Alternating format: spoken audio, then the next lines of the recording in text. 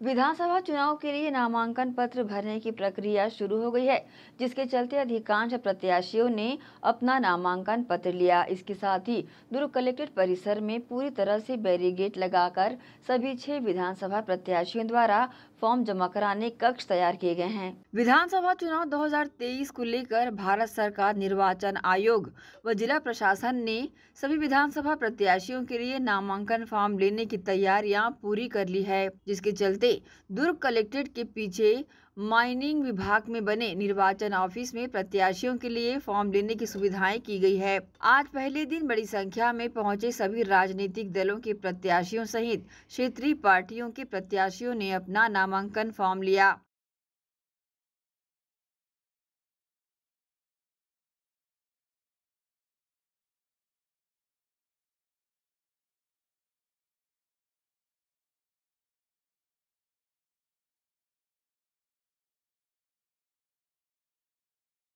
पहले दिन पौनी पसारी समाज के बैनर तले निर्दलीय प्रत्याशी विनोद सेन ने दुर्ग शहर से नामांकन पत्र लिया तो वहीं अहिवारा विधानसभा से कांग्रेस प्रत्याशी निर्मल कोसरे ने भी लिया। वहीं गृह मंत्री रामदास साहू के लिए केशव बंटी हरमुख ने नामांकन पत्र लिया। इसके साथ ही आम आदमी पार्टी से दुर्ग शहर से डॉक्टर एस के अग्रवाल और सुमित शर्मा और दुर्ग ग्रामीण से लक्ष्मी वर्मा और संजीत विश्वकर्मा ने अपने नाम के फॉर्म लिए। इसको लेकर नामांकन पत्र लेने पहुँचे प्रत्याशियों ने। मीडिया के बीच प्रतिक्रिया दी। शहर की दशा दिशा तो आप लोग भली भांति जानते हैं, आप लोग पत्रकार जन हैं, आप लोगों से कोई चीज़ छुपता नहीं है। दुर्ग शहर की दशा क्या है, यह बताने की आवश्यकता नहीं है। बहुत ही दुर्दशा है। चाहे हाट बाज़ार देख लें, सड़कों को देख लें, निचली बस्तियों की दुर्दशा को देख लें, स्कूलों को, माध्यम को देख लें। वो तो ठीक है, बघेल साहब ने आत्मानंद स्कूल खोल दिया है तो कुछ तो सुधार आया है, पर उसके बावजूद पटरी पार क्षेत्र की एक भी स्कूल में कोई सुधार नहीं है। वहाँ पर कोई कॉलेज नहीं है, हॉस्पिटल की दशा बिगड़ी हुई है और इन सारी दशाओं को देखते हुए पौनी पसारी समाज सदैव छला गया है सभी पार्टियों से। इसलिए पौनी पसारी समाज ने यह निर्णय लिया कि हम अपना प्रत्याशी खड़ा करेंगे और पौनी पसारी समाज मिल करके विनोद सेन को जिताएँगे और विधानसभा तक भेजेंगे। मैं ध्रुव ग्रामीण विधानसभा से आम आदमी पार्टी ने मुझे प्रत्याशी के रूप में विधानसभा चुनाव लड़ने का मौका दिया है। इस बार ध्रुव ग्रामीण विधानसभा में जो जनहित की ढेर सारी समस्याएँ हैं बहुत सा, जो कि हमारे आगे आने वाले गारंटी पत्र में शामिल होंगी। उन सारी गारंटी पत्र को देखने के बाद आप समझ जाएँगे कि जिस ज़मीनी स्तर पर हमने काम किया है, जो जनता की सुख सुविधाओं को और उनकी उनके हित में होने वाले सारे काम को ध्यान में रखते हुए जो काम एक विधायक के माध्यम से होना चाहिए, वो अभी तक नहीं हुआ है।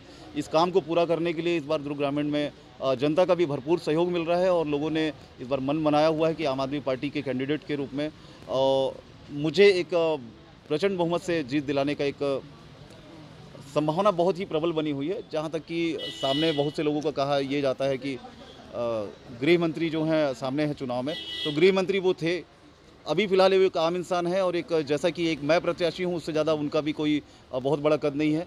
और जनता के अगर सेवक हैं तो लोगों के बीच में अपनी गृह मंत्री वाली छाप छोड़कर एक आम विधायक की तरह, जैसे कि एक विधायक को काम किया होना चाहिए अपने विधानसभा क्षेत्र में।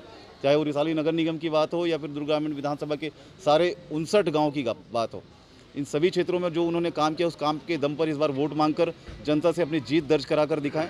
एक बार जाएँ, लोगों के बीच एक बार सीना तान के बोलें कि मैंने काम किया है तो वोट दें, अगर ऐसा वो शब्द बोल सकेंगे तो हम समझेंगे कि उन्होंने काम कुछ किया है।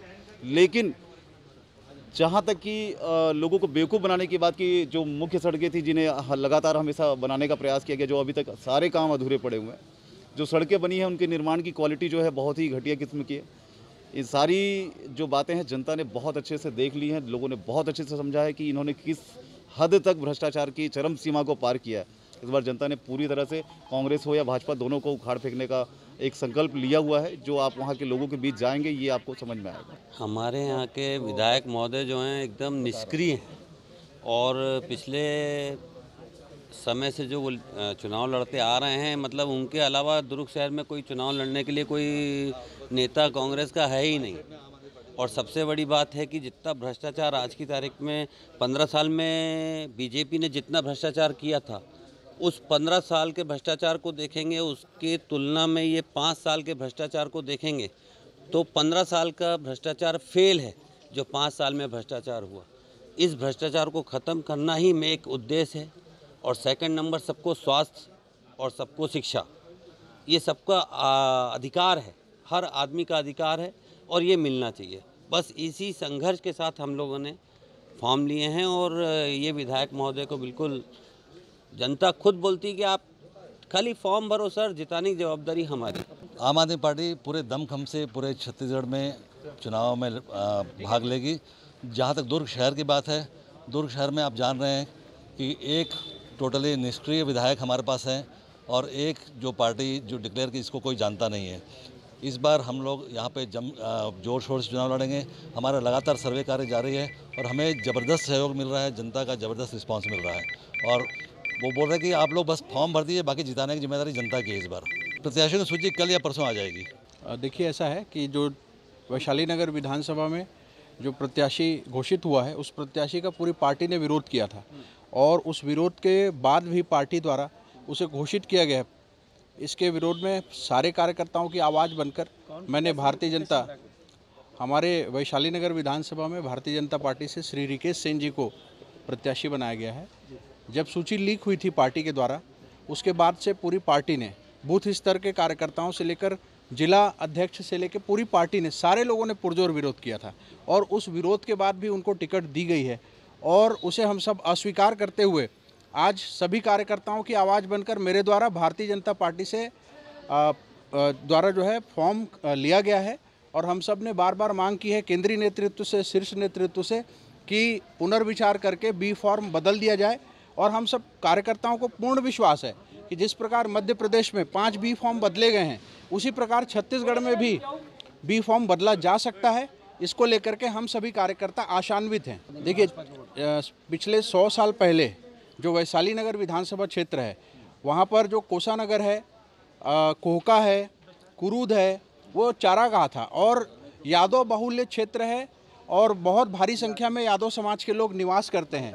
मैं आपको बताना चाहता हूँ कि जो हमारे स्वर्गीय हेमचंद यादव जी थे, जब दुर्ग शहर विधानसभा से वो चुनाव लड़ते थे तो वैशाली नगर विधानसभा के यादव समाज को साथ लेकर के वो कांग्रेस के दिग्गज नेता अरुण बोरा के पिताश्री मोतीलाल बोरा जी को जो है पराजय कराते थे।